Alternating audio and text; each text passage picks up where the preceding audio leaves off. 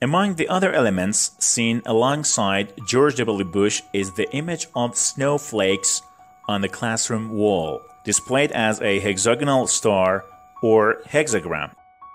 This points to the fact that the ice age of the apocalypse depicted in the previous and subsequent scenes were and will all be handled by the global Freemasonry, the Illuminati, and Zionist related groups symbolizing hexagram and hexagonal crystal shapes. Therefore, this is another emphasis on the fact that the tense and inflammatory situation of the apocalyptic era has been shaped by Freemasonry and Illuminati.